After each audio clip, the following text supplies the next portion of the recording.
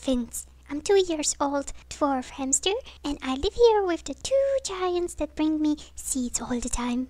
This is where I live, and it's about time to rebuild my house. Right, human? Alright, Muffin, I will take it from here. First of all, I've made a sketch. I didn't want the design to be very different from what we already had, because Muffins is quite old and I didn't want to add more stress to her. I've started with few simple materials, with knife, pencil, scissors, ruler, popsicle sticks, wood glue that is non-toxic to hamsters, and cardboard. Later I've added few more materials. So I'm starting with the two houses that will be below and later I'm gonna make a ramp that is on top of them. I make the houses with open roofs so I can inspect on Muffins and see what she's doing or if she's okay. This piece of cardboard was conveniently cut and connected. It's a piece of packaging from IKEA furniture, so if you have a piece, it's very good to keep some. I'm cutting out the door in the size of muffin.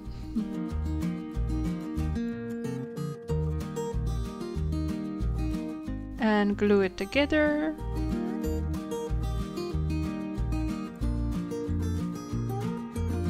I've clipped it together with uh, my sewing clips. You can see that the houses are a bit wobbly, so I'm gonna put uh, the popsicle sticks on top.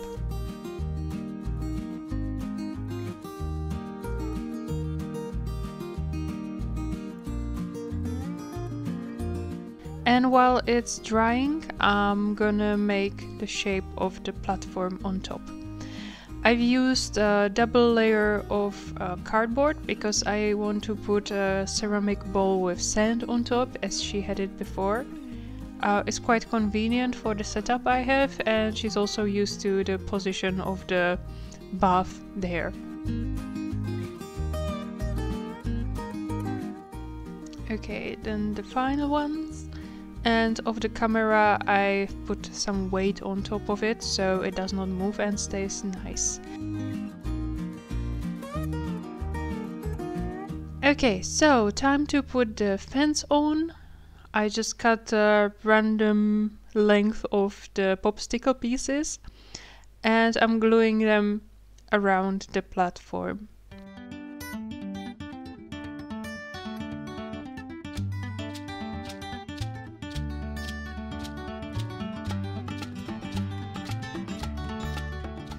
Okay, done.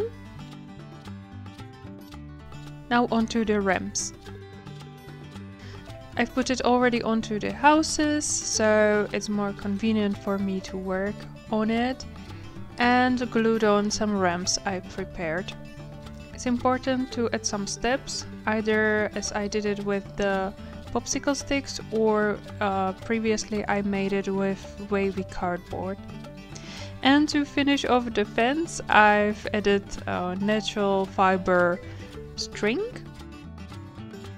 I was going for a kind of jungle, wild forest, um, tropical vibe. So uh, my boyfriend says it's a bit piratey.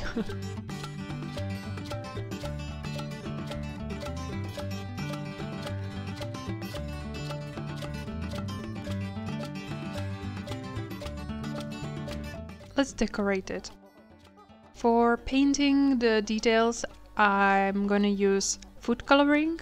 I've used that before for Muffin's stuff and um, she never had problems with it.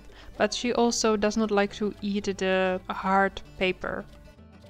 She in general prefers chewing on napkins or a cardboard. But if your hammy is a big chewer, maybe be careful with adding too much of colors.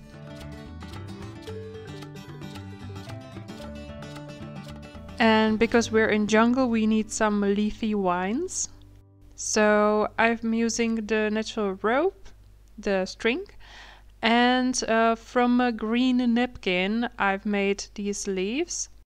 I've simply cut on a folded piece um, shape of a leaf and then I twist and pinch it around the string.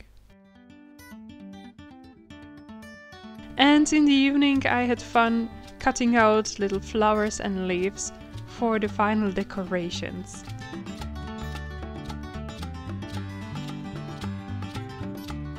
Here I'm installing the vine, but um, I wanted it kind of loose because I'm kind of expecting Muffin going nuts one night and eating all the leaves, so I wanted it to be removable.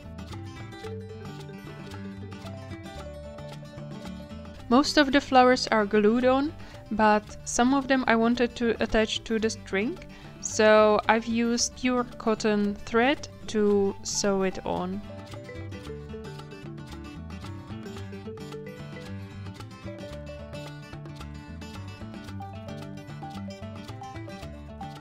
Okay, and it's done! This is Muffin's new jungle castle home thingy. I hope she accepts it as her new home. Let's see.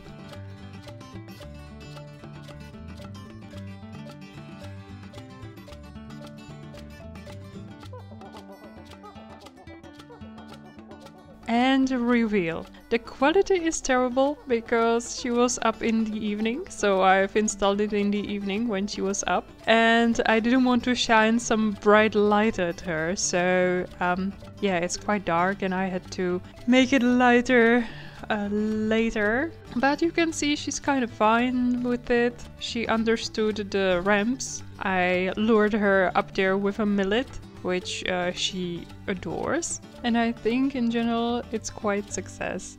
I think she likes it.